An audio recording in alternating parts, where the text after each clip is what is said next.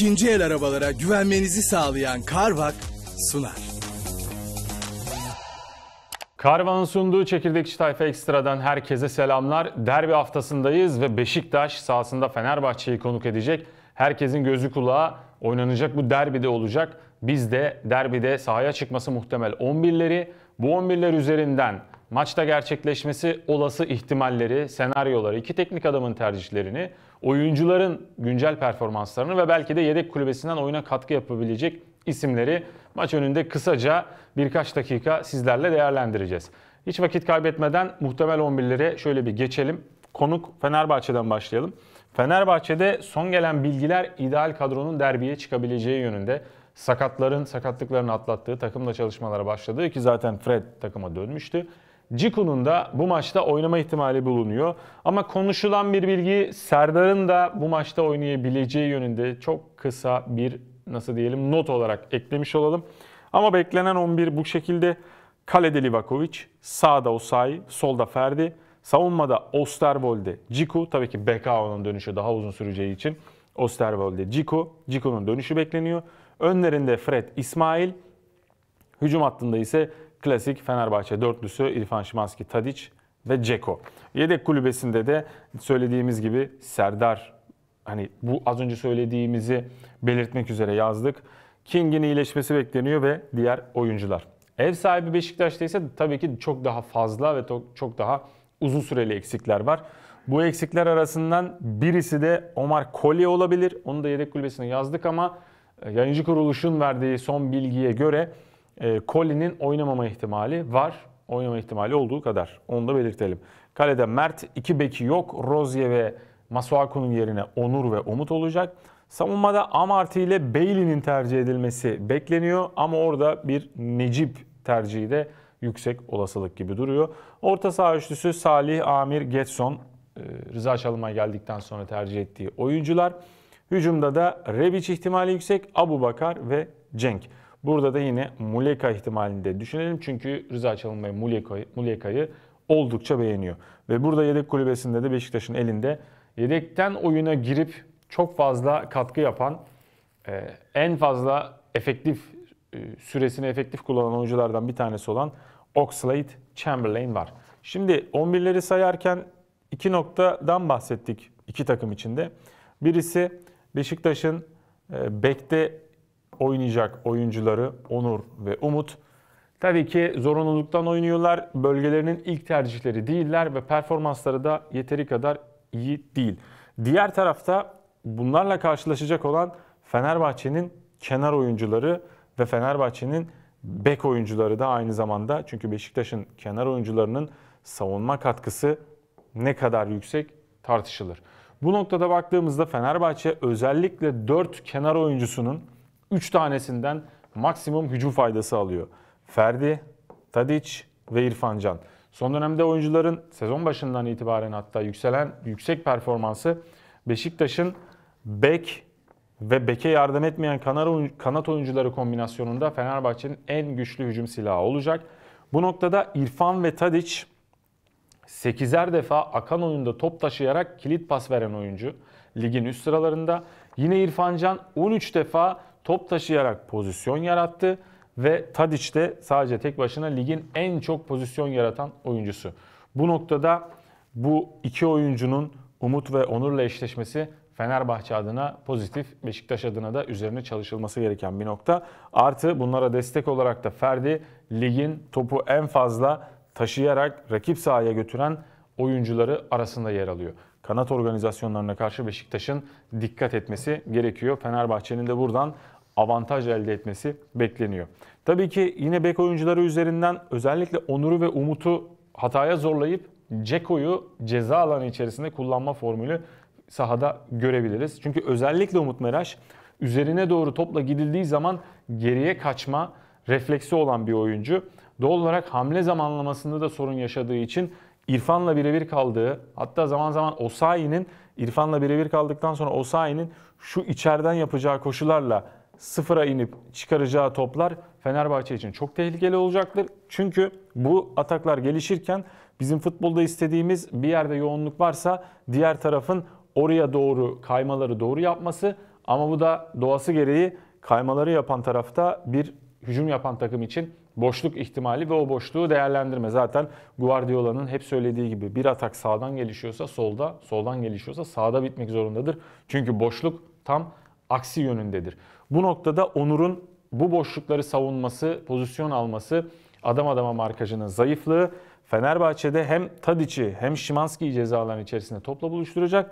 Ama Ceko'nun da çok fazla ceza alanı dışına çıkmasına gerek kalmadan ceza alanı içerisinde özellikle arka direkte sağ kanattan gelişen ataklarda arka direkte demarke kalmasını sağlayacaktır ve Fenerbahçe bu Beşiktaş'ın zafiyetinden faydalanacak gibi duruyor.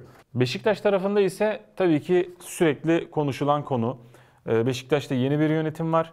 Bu yeni yönetimle beraber bir moral motivasyon yüksekliği ve çok özel bir derbi maça çıkıyor. Bu derbi maçta Beşiktaş'ın orta saha performansı belirleyici olacak. Bu oyuncular çünkü Beşiktaş'ta sezon başından beri e, nasıl diyelim seviye belirleyen oyuncular oldu. Beşiktaş'ın orta sahası iyi ise Beşiktaş iyi gö- göründü sahada. Beşiktaş'ın orta sahası düştüyse Beşiktaş'ın oyunu da kötü göründü ve son dönemde de Beşiktaş orta sahası iyi değil. Bu maçta ekstra bir oyunla, ekstra motivasyonla ve istekle Beşiktaş'ın orta saha kalitesini yukarıya çıkarması lazım. Ee, bu noktada belki de Abubakar'ın, Cenk'in, Rebic'in alması gereken destek orta sahadan gelecektir ve yedek kulübesinden de Oxlade Chamberlain'in katkısı ki ben olsam Oxlade Chamberlain ile başlarım. Ama tabii ki orada savunma hattının güvenliğini alma ya da oyun kurulumunda amiri değerlendirme o tercih Rıza Çalınbay'a bağlı ama e, Samsun Spor maçının ikinci dakikasıyla o offside'dan sayılmayan gol pozisyonuyla Ankara gücü maçında atılan golde Oxlade Chamberlain'in top taşıyarak orta sahayı geçmesi, delici özelliği kendisini çok net gösterdi. Bu maçta da Beşiktaş'ın özellikle Fenerbahçe ön alanda baskı yaparken top kaybına Fenerbahçe'yi top kaybına sevk edip bu kazanılan toplarla Chamberlain aslında bu özellik Getson'da da var. O yüzden kullanması gerektiğini söylüyoruz. Fenerbahçe ön alanda baskı yaparken arkada bırakacağı boşluklara doğru saldırıları Getson ya da Chamberlain'in delici koşularıyla yapacaktır. Bu da Beşiktaş için çok ciddi bir hücum silahı. Beşiktaş'ın bu maçta ben topa sahip olayım, mutlaka rakip yarı sahada oynayayımdan ziyade oyunu kendi yarı sahasında kabul ettiği noktalarda güçlü bir plan yapması gerektiğini ve Fenerbahçe'nin savunma arkası ya da 6-8 pozisyonunun önde baskıya çıktığı noktada bıraktığı boşlukları değerlendirmesi gerektiğini ve değerlendirebileceğini düşünüyorum. Bu da Beşiktaş için önemli bir silah. Şimdi tabii ki bazı veriler önemli bir şey gösteriyor. Hatta bunları Gedik yatırımla Fenerbahçe verileri noktasında değerlendirelim. Ligin en iyi ikilisi şu anda Ceko ve Şimanski gibi görünüyor. Çünkü 18 gol üretmiş Ceko ve Şimanski Fenerbahçe'ye. Bunlara İrfan da dahil olunca bu üretilen gol sayısı 24'e çıkıyor. Bu Fenerbahçe'nin ön alanındaki Tadic, İrfan, Ceko ve Şimanski arasındaki bağlantı da çok değerli.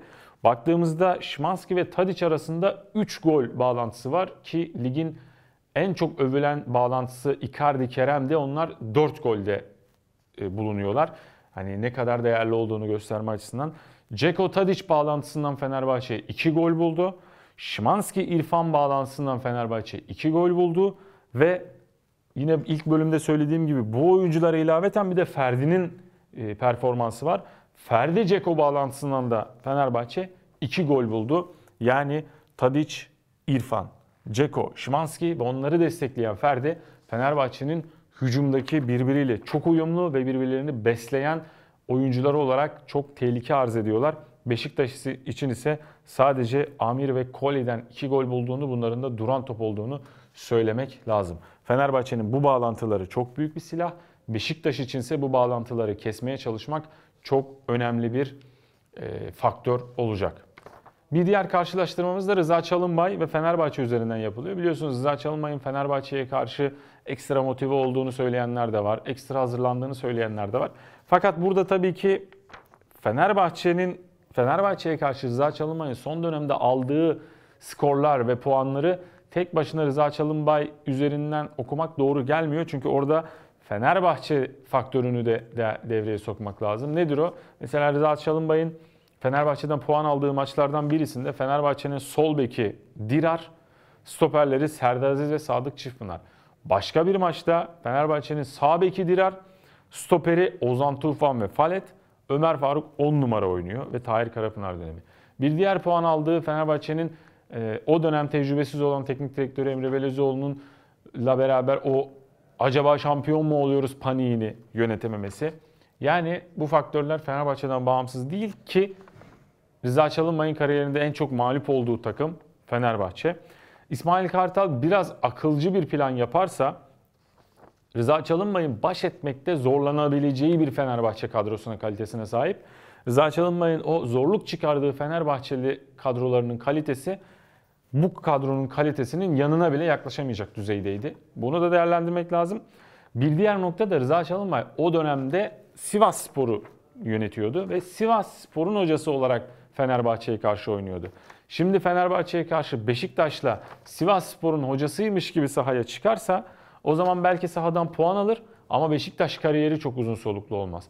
O yüzden bu maçta ben Rıza Çalınbay'ın Beşiktaş Teknik Direktörü Rıza Çalınbay gibi sahaya çıkacağını ve daha hedefe odaklı, daha oyunu da isteyen ve daha bu oyunu istemek illa hücum yapacak, saldıracak, her türlü riski alacak anlamında değil. Makul, mantıklı ama Beşiktaş normlarına uygun bir yapıyla çıkacağını düşünüyorum. Buradan değerlendirirsek bu Fenerbahçe'nin kadro kalitesinin bu Beşiktaş kadro kalitesinden daha iyi olduğu aşikar ama bu Beşiktaş'ın içinde bulunduğu şartlar puana daha çok ihtiyacı olduğu duygusu Fenerbahçe'nin de var ama bir realiteden bahsediyoruz. Değişen yönetim ve oyuncuların kendini bu kötü giden sezonun kötü gidişatında affettirme duygusuyla beraber o duygunun da sahada olacağını ve taraftarın da etkili olacağını söylemek lazım. İşte aslında bu söylediğimiz, yazdığımız şeylerden dolayı derbiler klişesi vardır. İşte üç sonuçlu oyundur. Evet bu bir klişe ama herhalde en gerçek olduğu, bu klişenin gerçek olduğu maçlar da derbi maçlarıdır. Bizim maça dair söyleyeceklerimiz, belirteceğimiz notlar bu şekilde. Bir de dileğimiz var tabii ki. Umarız maçın sonunda sadece futbolun, futbolcuların, teknik adamların futbola dair tercih ve performansları konuşulur. Maç dışında, futbol dışında bir şey konuşmak zorunda kalmayız. Umarız hakemler maçın önüne geçmek gibi bir niyetle sahaya çıkmaz, kendi şovlarını yapmaz. Dileğimiz bu. İki takıma da başarılar. Karman'ın sunduğu çekirdek iş tayfa ekstrada Beşiktaş Fenerbahçe maç önü sona erdi. Siz de maça dair görüşlerinizi lütfen yorumlara yazın. Bir sonraki bölümde görüşmek üzere. İkinci el arabalara güvenmenizi sağlayan Carvak sundu.